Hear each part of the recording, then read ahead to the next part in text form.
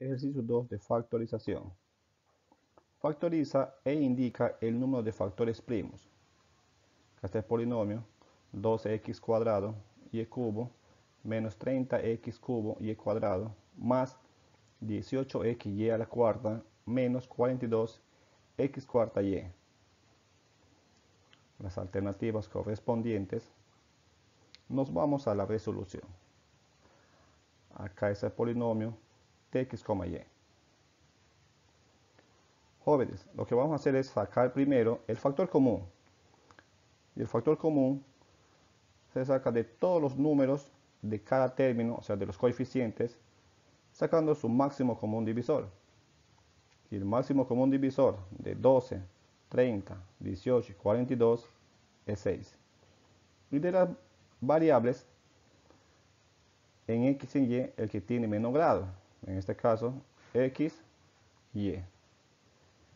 ¿Cómo calculamos todos estos términos? Ahí va.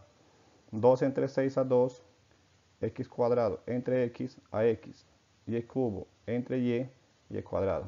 Igual acá, 30 entre 6 a 5, x cubo entre x, x cuadrado, y cuadrado entre y a y, más 18 entre 6 a 3, x entre x se eliminan, y cuarta entre y, y cubo, menos 42 entre 6 a 7, x cuarta entre x, x cubo, y y con y se elimina.